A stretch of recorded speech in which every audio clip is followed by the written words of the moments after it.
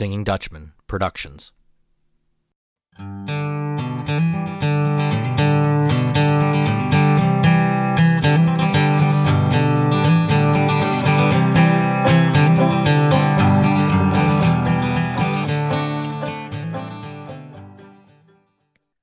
Hello and welcome to Doug's Front Porch, a podcast where I get to sit down with friends, old and new, and have honest conversations. Today, I welcome one of my newer friends, Tara Mondock, onto the front porch.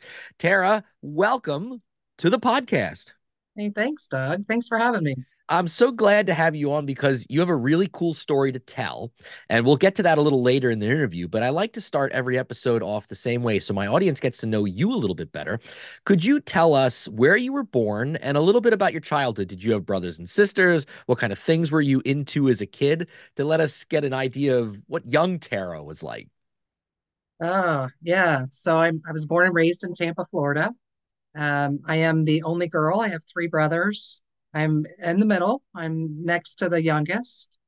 Um, so um, I grew up in uh, in Tampa. I very I, I actually didn't leave uh, you know Tampa for my entire life until I'd never left the state of Florida until I was 18 years old when I left for college.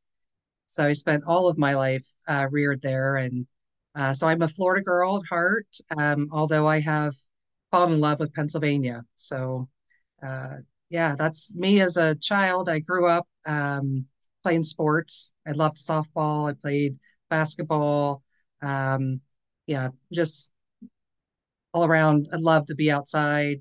Yeah.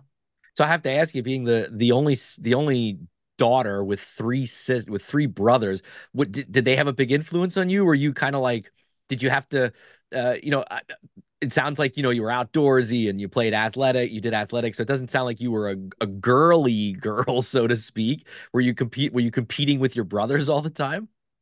Oh gosh you know i i had um i wouldn't say i was competing with them so much. They have a heavy fluid they looked out for me for sure. Um my mom was a, a single mom and um and so we had you know we didn't have a lot growing up. And so uh, we made the best of what we had, um, worked with what we had, and uh, and so so that was our our childhood was, you know, we lived on, um, you know, we lived within our means. Let's just say that we didn't have anything extra. It was. Um, so I was uh, the only one actually that went off to college. My other three brothers didn't. So, um, or my my brothers didn't. So that's I would say that um, you know there's uh, they are all living in Florida and and then around the same areas where we grew up. So um, so I would say I sort of left. I flew the coop and um, and I uh, I spent the first the first um, 10 years of my marriage actually down in, in Tampa and then we made the move to to Pennsylvania. So uh, I've become a Pennsylvania girl uh, through through that transition. So well, can I go back? Uh, you said you, you left Tampa to to go to college. Where did where did you yeah. go to school?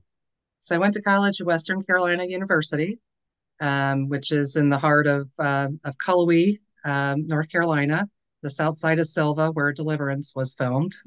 okay, a dry county, not a whole lot there uh, to do, but I loved it. I um, I was in the marching band. Um, I enjoyed um, you know, the connections I made with people in college that I still enjoy to this day. What What did you study? So I I have um, a major in marketing and a minor in journalism. Okay, so I have to ask you, as that young girl going off to college, what what drew you to marketing and journalism?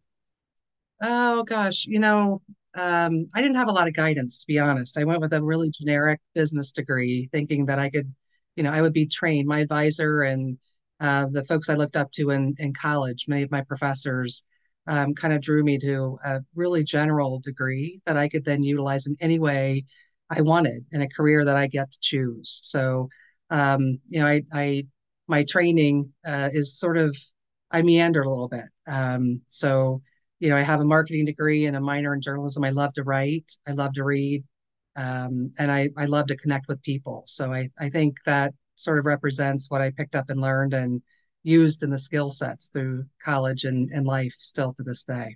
So you mentioned already that you've you you moved around a lot, uh, you know, with your husband, and you were in Florida, then you were in North Carolina, then you went back to Florida, and I you spent some time in in Kansas City, correct, as well? I did. Yes, I did. I actually, um, I I grew up with this company I went to work for uh, just out of college. I took a job with IBM down in Tampa, um, and then had the opportunity through uh, one of their larger partners to um, travel quite a bit with my work. And a lot of my travel took me here to um, near and around the Northeast.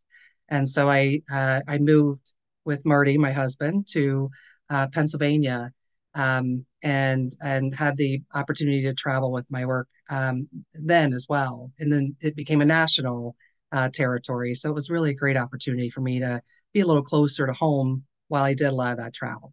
Yeah. So today, and I looked you up on LinkedIn because I wanted to get your exact title correctly. Uh, so today, you are the Associate Director of Client Relations at Penn State Extension. So what's that mean? what, Yeah, what what what do you do? And and please for the. Yeah, for the audience too that might not be aware of, most people are, familiar with Penn State, Penn State University, of course, this massive, this massive university that's here in Pennsylvania, but they might not know what the extension is, like Penn State Extension. Could you, could you briefly explain what Penn State Extension is first, what they do, and then tell us about your job? Absolutely. So I uh, I work for Penn State, the university. We are the land grant here in Pennsylvania. Um, I work more specifically for Penn State Extension, which is the extension portion of the land grant uh, mission. So research, teaching, extension. Um, and so, as a part of my responsibility within Extension, I am responsible for positioning the resources and uh, and expertise we offer uh, in each of the 67 counties across the state. So extension is actually a the non-credit way of uh, lifelong learners kind of pick up and utilize resources in uh, in their communities. So we run programs like 4-H, Master Gardeners. Some know us for Master Watershed Stewards for the work we do around water quality. We do a lot of work with um, with with adult learners around nutrition education, um, and so economic development we work with industry to uh, look at ways to train up workforce. Um, so we touch every Pennsylvania and uh, every Pennsylvanian in some way, uh, which is a really neat um, opportunity for uh, for ex- for extension and the people we get to serve. So what is your role specifically uh, in client relations? Like what's your what's your day look like? What do you have? What do you do? Yeah, yeah. I am. I I actually am the uh, associate director of client relations. In that role, I lead the team of client relations, uh, which is really a community relations uh, role.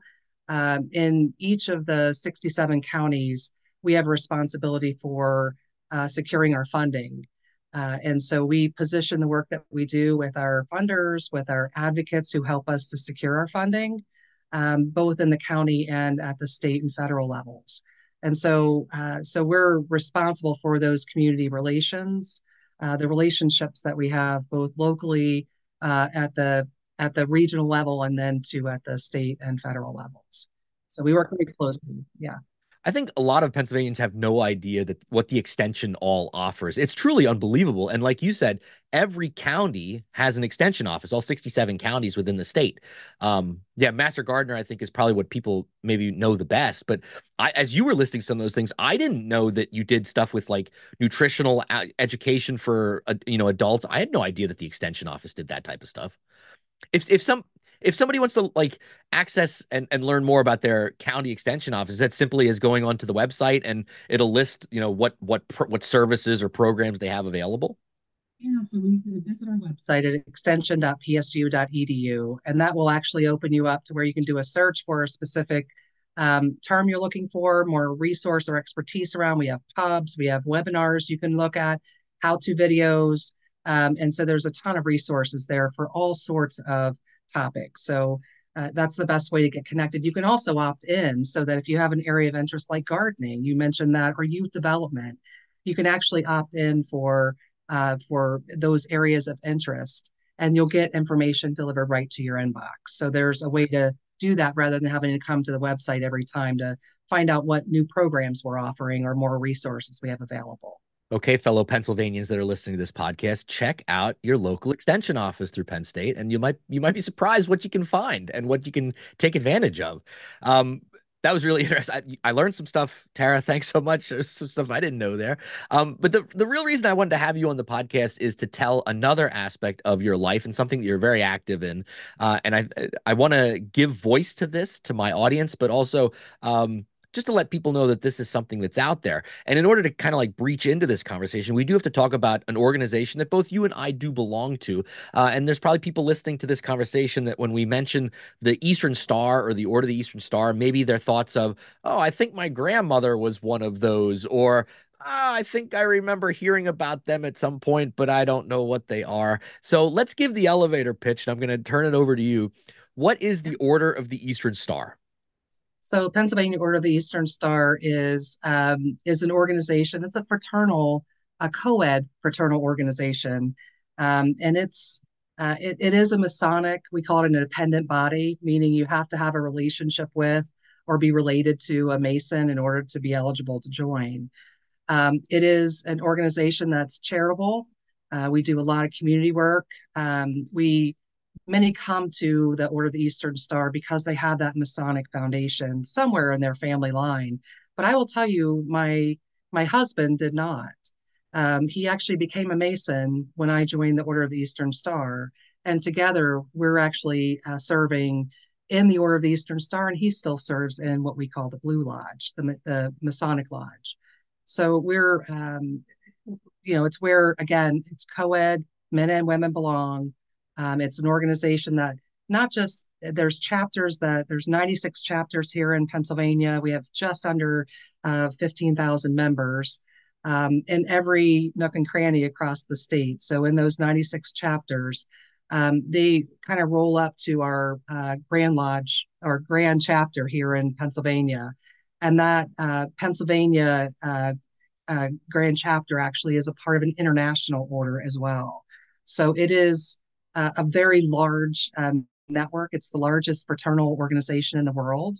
Um, and it continue, we continue to do uh, good things with, through missions that are charities that we support, both here in the state and internationally.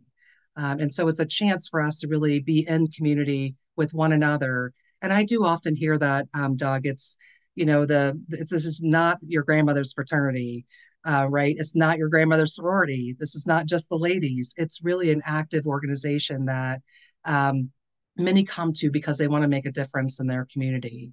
And so, uh, so my worlds often come together with Penn State Extension and um, you know the the work that we do with Pennsylvania Order of the Eastern Star, and I'll talk a little bit more about that. But one of the organiz- uh, the the uh, initiatives I know we support, as an example, uh, one of the charities is Alzheimer's, right? Um, and so I have information available through Penn State Extension that um, allows caregivers who you know struggle with uh, providing care for those that are challenged with caring for someone with Alzheimer's or dementia. And so that's an opportunity for us to do outreach and take that information out to the general public and support the work um, in the community to to uh, to uh, to address needs like that. Um, so really quickly, if somebody's listening to this and they're like, that sounds like an organization I I might be interested in, just so that everyone's clear. And you you can research Eastern Star, you can look them up online and stuff. And there's a there's a Pennsylvania page, and and as Tara said, it's not just Pennsylvania; it's all across the United States and, and internationally as well. But in case anyone is really interested in thinking about looking into this and interested in possibly joining, there is there's like there's one caveat that you need to have involved uh, in order to be a member. And if you could just highlight for anybody that's listening, if they're thinking about this, in order to become a member of Eastern Star, what is that process look like? Yeah, so you would need to have an affiliation or a, a relationship with the uh, with the Mason. Um, and so my grandfather, for example, was a Shriner. He was a Mason. My uncle was a, a Mason, and so through that, I became eligible to join the Pennsylvania Order of the Eastern Star.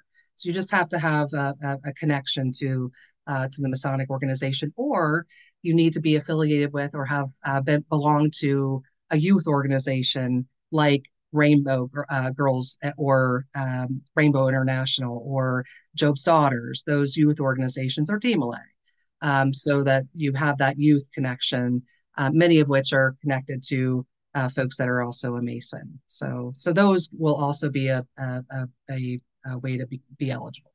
I like that. I like how you said it's not your grandmother's Eastern Star anymore. Uh, we, I, you know, for some people who might have had some connection, maybe it was their grandmother was in a group like this, or it doesn't have to be Eastern Star. It could be maybe name any other fraternal organization, the Elks, the the you know whatever. Uh, I think we have these and i've had I've, I've had other guests on the podcast that we've talked about fraternal organizations and the role that they play in our society and how most people don't realize how much work they do uh, they're not just a building uh, you know downtown and they people dress up in funny hats or they wear a, a white dress. It's way more than that. Um, and what I love about what you bring to the organization is even though you're not 20 years old, you do bring a sense of youth and energy and vitality to an organization that for generations has been a little old and dusty, so to speak. But I do see changes happening as as as you know what's going on re- you know within the re- last couple of years and particularly in what we're going to talk about here in a little bit and your and the service dog project but i want to ask you one question before we move into that and so you've been a member of this organization now for a couple of years for, for multiple years what do you personally get out of belonging to eastern star Good question. So for me, I joined um, the Order of the Eastern Star 10 years ago. Um, and it's an opportunity for me as I train, as my kids grew up. You know, I have 21 year old twin girls and my son's uh, 28. So, you know, we our time freed up, right? We wanted to figure out how we could give back to community. All the things that we did before that were with and for our kids and being in community through scouting, through our church, through the sports um, that they did in the uh, as they were growing up. And so we needed to find something else to invest our time in where we could make a difference. And so for me, I my grandmother was also oddly enough in, uh, in Pennsylvania or in Eastern Star down in Florida. My grandfather, we grew up going to the circus with the uh, Shriners, right? Um, and so for me, those were memories that I, I thought back, like maybe I'll try that out. And and then through that uh, organization, like getting connected, um, we had some opportunities to really support some charities. Um, and then I and then I, I really started to get uh, I fell in love with the the service dog uh, work that we do as part of that mission. So so what do I get to do is I really get to make a difference in the community and I get to see that difference in so many different ways. Um, and so for me that that shows up in my at work, it shows up for me at home, it shows up for me in my uh, family and in my community. And so it's it, it makes me feel like I can make a difference. I think the one thing too that is often overlooked because I guess we just don't think about it, but joining any kind of any organization like this, whether it's the Eastern Star or the Masons or the Elks, is that it puts us into contact with so many different people in our own community that we would never come into contact with. Everybody, you know, that that runs the gamut of white collar to blue collar to retired to executive to and and you are in company with these people and you become a community yourself within that group. And i think all too often nowadays we you know we retreat to our bubbles because we can because it's so easy to do that whether it's the social media that we that we consume or you know we only hang out with our close friends because that's our close friend circle. And very rarely do we do we be pushed in society do we get pushed into situations where we have to interact with people that are not the same as us. And these organizations i find forces us to do that in in a good way and creates community, but also broadens our own perspectives of who else is in my greater community that you never maybe would give two thoughts about, right? Um, I don't. That's been my experience, at least belonging to groups like this. I don't know if you found that with Eastern Star or not, but I think that's one of the huge benefits in a in a world where we are constantly retreating because we're able to, and this forces being parts of organizations like this forces us to do the exact opposite and push out and get into you know get into community with people. And, and then we can take those skills like you said and then take them to the broader community beyond our our organizations as well. Yeah that's a really um, fascinating perspective because you know I hadn't thought about how diverse we are. Um, you know yes we we have people from all ages and all walks of life that are members of of our chapter and that we get to interact with as we venture out to other chapters and as we come together at our grand chapter statewide um, you know when we gather um, annually. So so yes there are people from all walks that i would never see have the opportunity to engage with if i weren't a member. Um, and i've learned a lot from them. I've learned a lot. I walk and and the other thing i get to do as a member is I, i'm walking in the footsteps of my of my of our founding fathers, right? I am walking literally the same and saying the same ritual, performing the same things that they did in in their chapters when we founded this country. And so it's kind of a neat thing to be able to to know that you have a connection that goes back so far. So I appreciate that. Um, you know, and and it gives me a chance to really there's a lot of lessons and um, and kind of ritual that's rooted that means something um, if you really study and invest the time to do it. Um, it's not just words you recite as part of the ritual. It really is. You know, our five heroines as part of our star points represent the daughters, the widows, uh, the wives, the sisters, and the mothers. We all fall in some, one of those uh, points in, in some point in our life. And so there's a lesson that's biblically oriented that we get to tell over and over again, and we draw more people into it. It is a community. It is that we all come from different, and not all of us have kids. Not all of us, um, you know, have have uh, you know the the, but we're mothers to each other, right? We're mothers to. I have mothers in my chapter because I don't. My mother's gone, and so there's a. It's a really great chance for us to make connection I would not otherwise have had. Um, and so I appreciate that. I appreciate the perspective they bring. Um, and and the things that we get to do together, um, serving in the community. Um, and I hope to do more of that. Yeah. Well, we already mentioned this, but let's transition to this part of the conversation, which was really the main reason I wanted to have you on.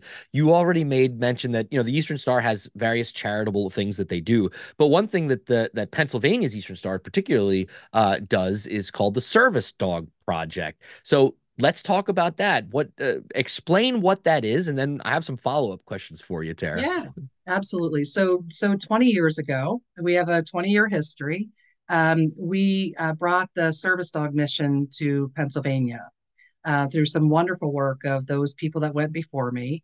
Um, but what we get to do is raise money.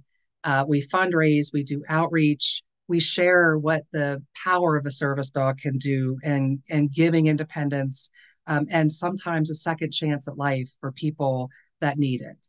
And, and a service dog can be partnered with anyone from any walk and any age. And so everything from a veteran to a child with disabilities to a mental health to a facility that that they might be able to take advantage of. So there's service dogs serve so many purposes, and I've seen them in so many different places. Um, and again, I fall in love with the mission. So it's it's an opportunity for us um, as Pennsylvania Order of the Eastern Star to fundraise and do outreach to share the important work that the service dog mission means for people that get uh, you know to to benefit from that. So it's not necessarily that these members of the Eastern Star are raising the puppies and training them. It's more that you guys are raising money to keep these organizations that are raising the puppies, that are training the dogs to to keep those to keep that that side of the equation functioning. So we actually do have some. Uh, we surround the the raisers um, and and those people that sort of breed and we call it whelp or or take care of the mom and the puppies when they're born um, the raisers that take them the first 18 months of their life and the advanced training we surround them with support um, we could be puppy sitters we could be raisers um, we could be doing outreach with them to help share the things that they're doing to encourage more people to become sitters and raisers. So that outreach is important because that organization is very much volunteer. That organization, Susquehanna Service Dogs, is our partner. Um, they're located in Grant, Grantville, uh, Pennsylvania, just outside of Harrisburg, um, and we do our our uh, our work with them and supporting financially. The fundraising we do goes to them primarily. Um, and so so we surround them with the support they need to to raise those dogs and partner them with uh, with their human partner. And then beyond that, even right, those partners uh, and the the the uh, teams are supported by Susquehanna service dogs throughout the life of that dog. Um, and so so the work that we do continues beyond even them being paired and trained. Um, and and you know moving out they come back to get recertified and um, and to care for them as a team um, throughout the life of that the life cycle of that dog. So it's important work. We start from the moment that that dog is takes its first is, is actually bred um, to it when it takes its last breath.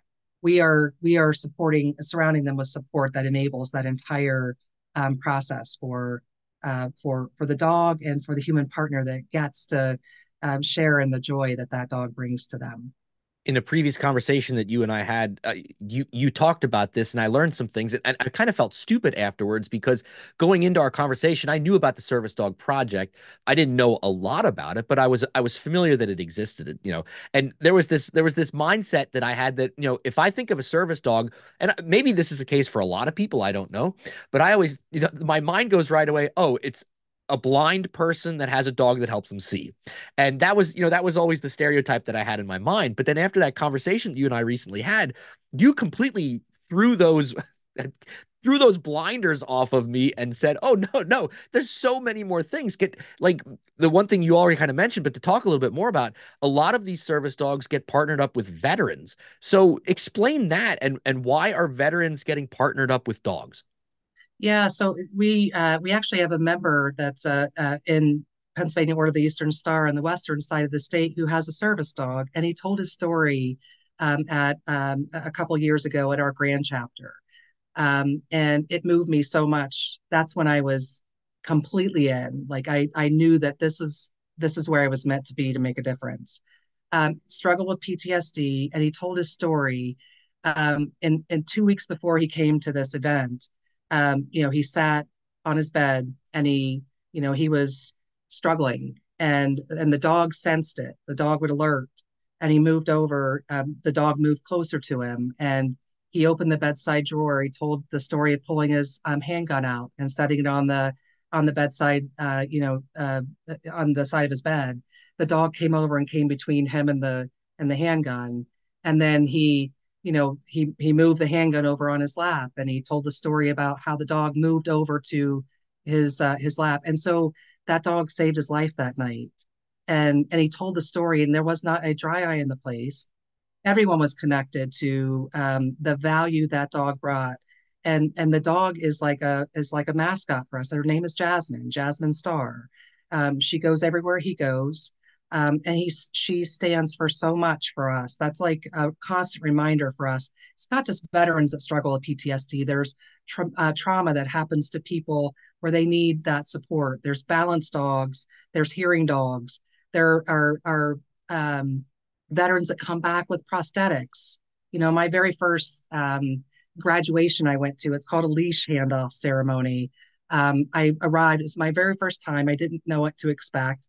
I got out of the car and I witnessed this woman getting out of the car. She stood up um, and her dog was right there with her. Um, and across the parking lot, she saw a gentleman that had two prosthetic legs. He was wearing shorts, so it was very clear he had prosthetic legs. And his dog was there um, by his side. And the two looked at each other and they they made their way across the parking lot and hugged and they said do you realize the last time that we saw each other was in partner training and they're both in wheelchairs and now they stand and they stand with their dogs and they just stood there with you know the most uh, pure emotion. And i thought this is why i do what i do. This is what i came for. And it just again solidified for me the difference i get to make and putting a dog with a person like that that can now stand and walk. And the life uh, the second chance that that gave for that veteran that came back with you know so much trauma and i'm sure his fair share of ptsd without without his legs, he can now stand and walk. And he said, This dog is my life. This is my lifeline. Um, and so for me, that was uh, that's why I do what I do. That's why I put my whole heart in um, and fall. I fell in love with the with the mission because I know I can make a difference for so many. Um, you know, through the work we get to do. Do you know off the top of your head with your involvement how many how many dogs you guys have fostered out? Or like as an estimate?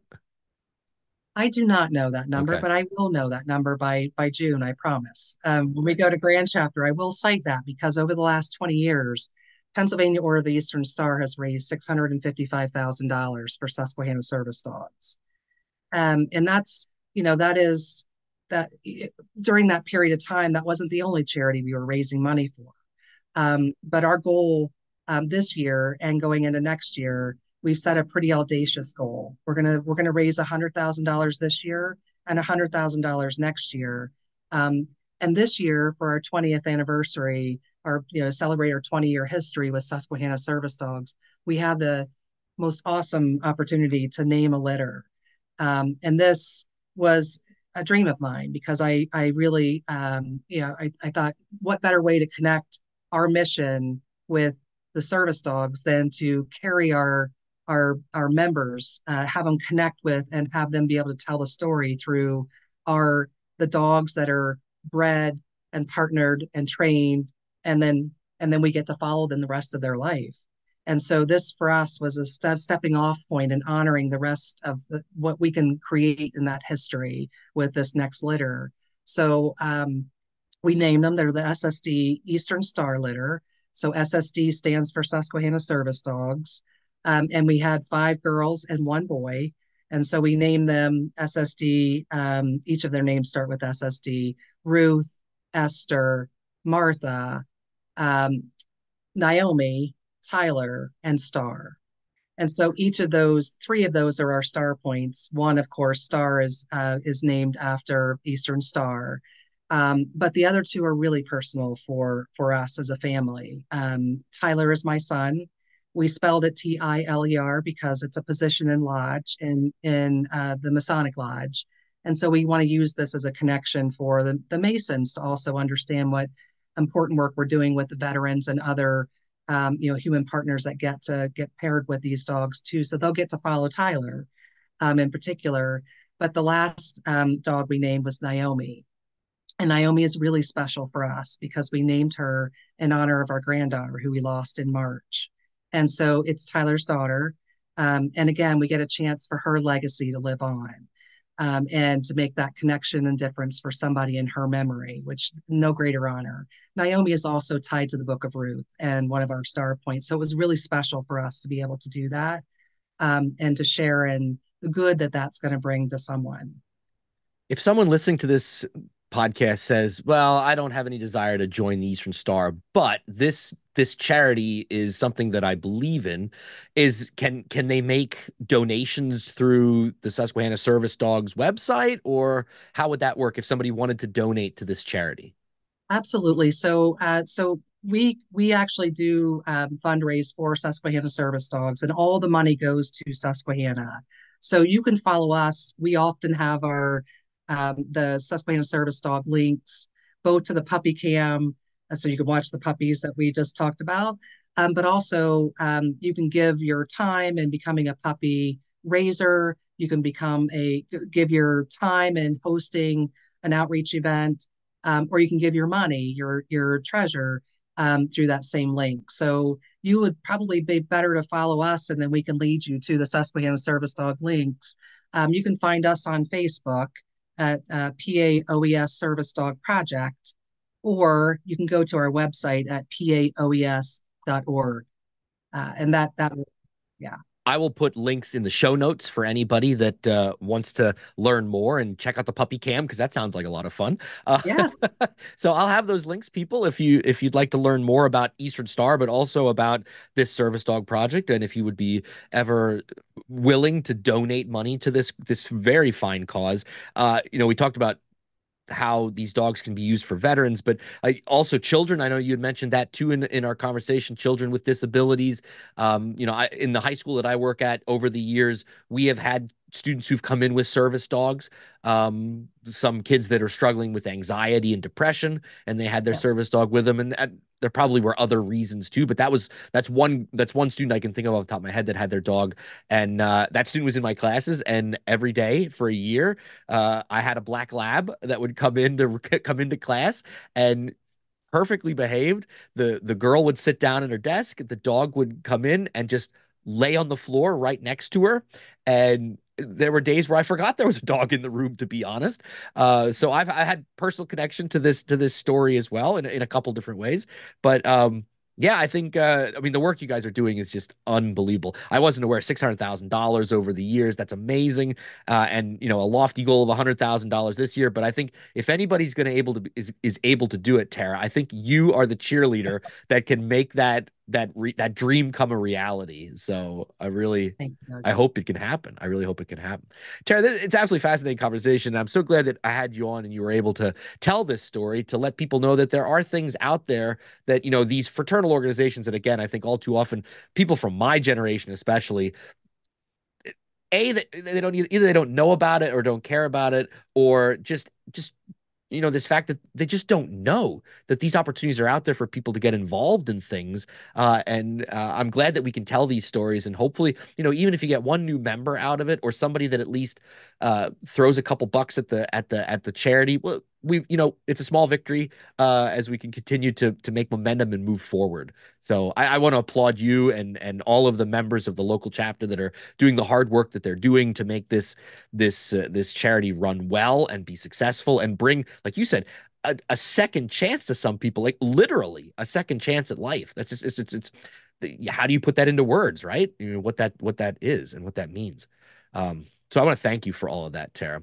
But thank at you. the end of the end of every conversation on the podcast here, I ask all my guests. So we've done the serious, the serious business is done. We we had our conversation, but I like to ask all of my guests 10 quick questions that have nothing to do with anything that we've talked about tonight, but just an opportunity to get to know Tara Mondock a little bit better. Uh, are you ready for your 10 quick questions? Oh, yep. You're going to be fine. Trust me. All right. Okay. Question number one What is your morning drink of choice? Oh, coffee. How do you take your coffee? I like it with Splenda and my I vary my uh, my flavored um, creamer. Okay. Um, based on the season. Yeah. Gotcha. Do you uh do you hit the pumpkin spice hard in the fall? I do. okay. I do. Sometimes I do it. They nowadays they have pumpkin spice and the uh, mocha, peppermint mocha available just about all year long. Yeah, so how I about get, it? I get that treat. It's awesome. there, you, there you go. All right, number two. Who is a go-to musical artist for you? Oh goodness. I I very Chris Tomlin is one of my favorite Christian Chris contemporary Tomlin. Christian music uh, okay. musicians. Mm-hmm. I'm not familiar with him. I'll have to check his yeah. stuff out. Okay. Question number three. What movie can you watch over and over again and it never gets old? Oh gosh. Shawshank. Oh, what a great answer. Absolutely. That is a popular answer on this podcast. A lot of people have given Shawshank Redemption as an answer for that. Yes. Okay. Because it's a great film. Yeah. All right. Question number four. What is the last thing that you read? Oh, my goodness. Um, good to great. Good okay. To great. Yeah. Yeah. Is that a, a fiction, a work of fiction, or something? No, else? it's a leadership book. I, I'm a, I'm a, I typically pick up a book just to kind of brush up on leadership skills. So Good to Great's one. I also follow a lot of uh, Simon Sinek's work. Okay. So leadership, yeah, to professional development. I'm constantly blown away at the amount of of literature out there that is geared towards how to make someone a, a good leader or a better leader. And I wonder, is there really a leadership crisis in our society that so many yeah. people write about this? And you're in leadership. Uh, can we just i, I want to ask you about that real quick. What why do you think that is? Why is there so much stuff out there for leadership? I think um i honestly think leadership can be lonely. Sometimes you just need perspective. There's not always a safe good safe place to kind of get your perspective and so it becomes difficult to like pick up on tips and tricks if you uh, if you're you know in an organization surrounded by people that expect you to be that that like dynamic leader. So I think you go where you can get that. And sometimes it's I, I do a lot of driving, so for me, I listen to a lot. Mm-hmm. Uh, when you ask, that's why I hesitate when you ask me what I read last. It's like, what did I listen to last? yeah. Um, so I, I listen to a lot of Simon Sinek because he gives me so much perspective. Um. Okay. I was often curious about that. Okay, great. Uh, number five. What is your favorite pizza topping?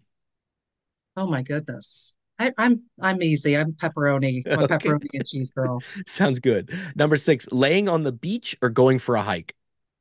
Ooh, I kind of like both. Okay.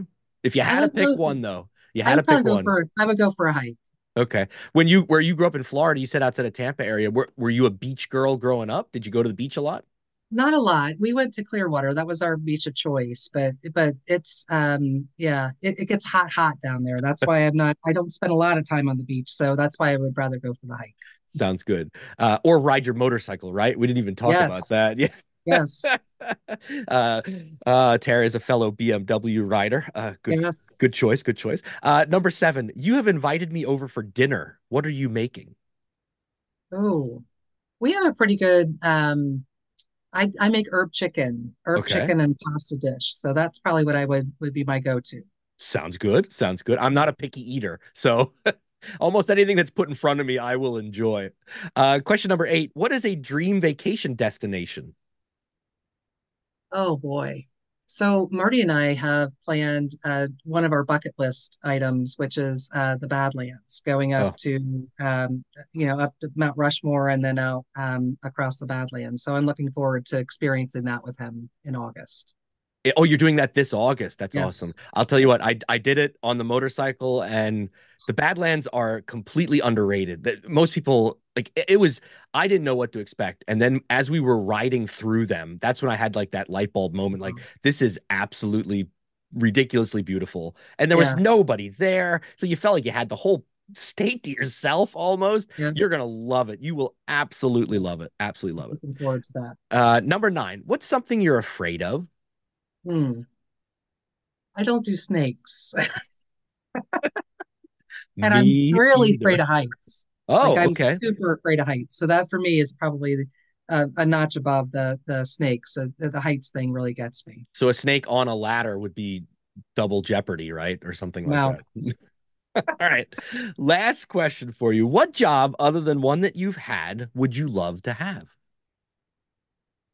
Uh, you know, I I think um, I always dreamed of being a wedding coordinator, Okay. and so I you know I I just think there's something um, amazing about about managing the transformation of a day for a person to make it Mm, like it's the wedding coordinator for me would just be awesome. I used to cater in in high school, and so I got a little taste of that, but really just doing the whole shebang would be Yeah.